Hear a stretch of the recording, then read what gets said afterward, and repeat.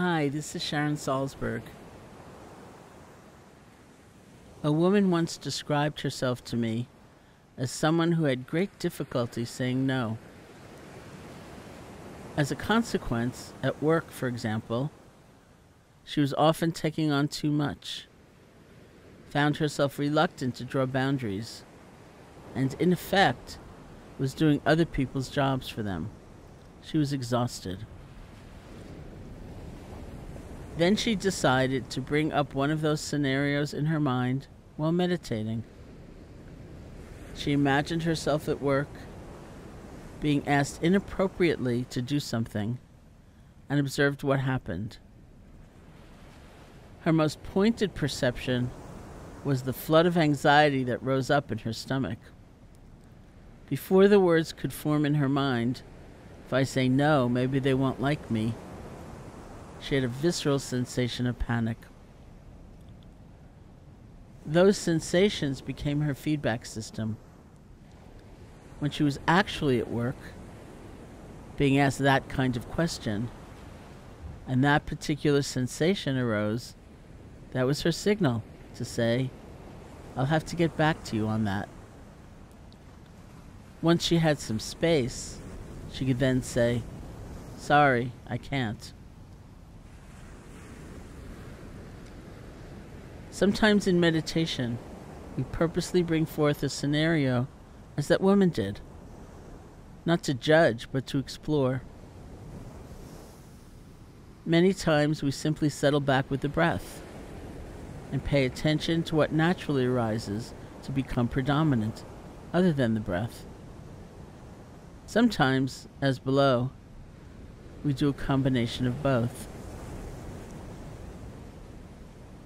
We see that if we maintain curiosity about our experience, we can practice being with difficult emotions and thoughts, even intense ones, in an open, allowing, and accepting way.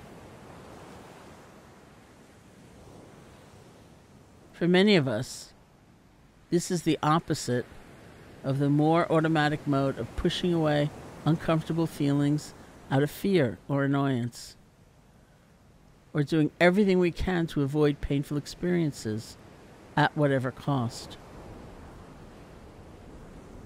And we see that in order to have the resiliency to face difficulties, for example, a friend who can't be helped, or a day full of sudden changes outside of our control,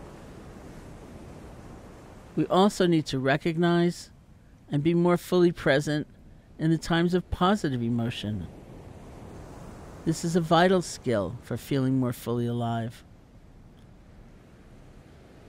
The tool of mental noting can be a support in this practice. Noting is a technique where, if a word associated with your experience comes easily, you silently repeat it a few times as you center most of your attention on the experience itself.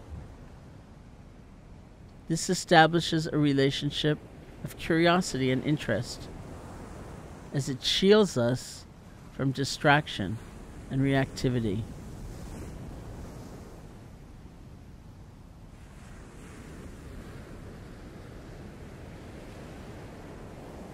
You can sit comfortably, close your eyes or not. During the instruction, when I become silent, that is your signal to put into practice what I've just suggested.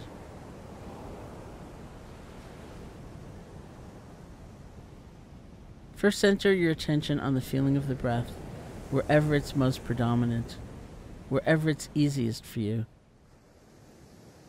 Just the normal, natural breath. And quietly note in, out, in, out, or rising, falling, to help support the awareness of the breath. If an emotion or mood arises that takes your attention away from the breath and the word comes easily, see if you can silently label it happiness, sadness, annoyance delight, or whatever it is.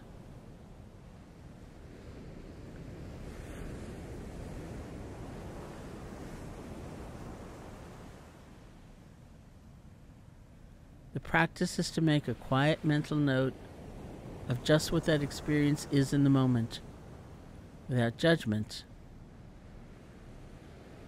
just as an act of recognition, anger, joy. You don't need to struggle to get exactly the right word. It doesn't need to be elaborate. It's just an act of acknowledging, oh, this is what's happening right now. Then we can look at that experience more clearly. Often, for example, an emotion is not just one thing. Anger may be moments of sadness, moments of fear, moments of frustration, moments of helplessness. We watch them rise and pass away.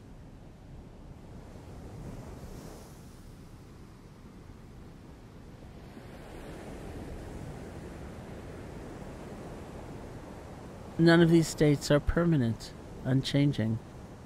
They're moving, changing, shifting. Now see if you can bring to mind a specific difficult or troubling thought or situation. A situation that carries for you an emotion, such as sadness, fear, shame, or anger.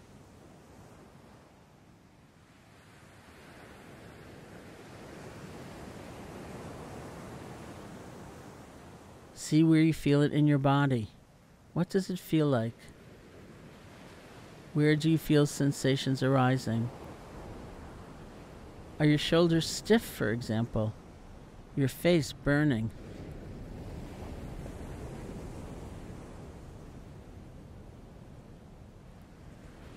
Once your attention has moved to the bodily sensations, perhaps say to yourself, It's okay.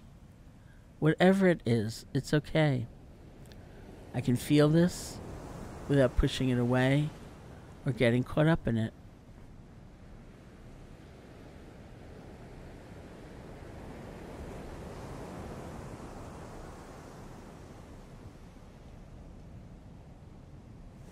If you find you're adding judgment, condemnation, future projection, anything like that, Practice noting and then letting go of those reactions as best you can and return to the sensations of the emotion.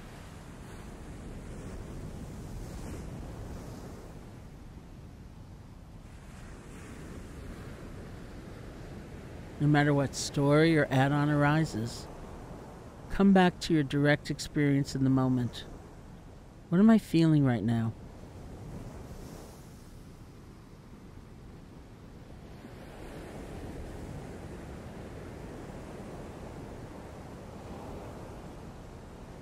Now bring to mind a pleasurable experience you had, one that carries a positive emotion, such as happiness, joy, comfort, contentment, or gratitude.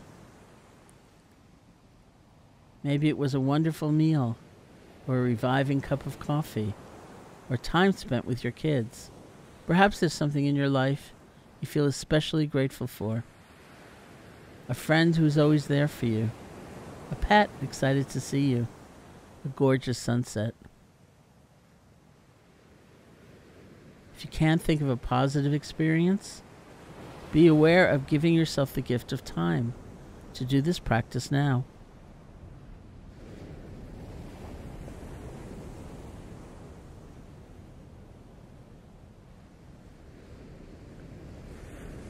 Notice what emotions come up as you bring this experience to mind.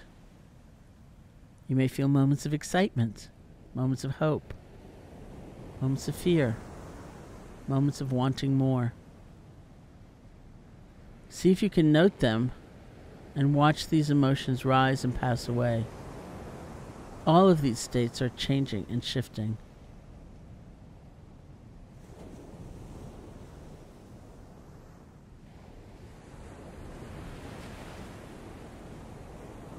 Where in your body do you feel sensations associated with the emotion arising? What are they? How do they change?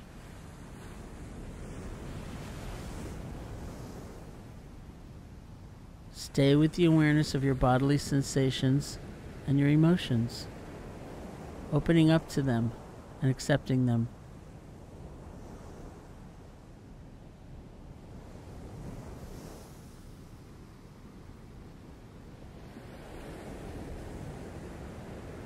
Can end the meditation by simply sitting and being with the breath.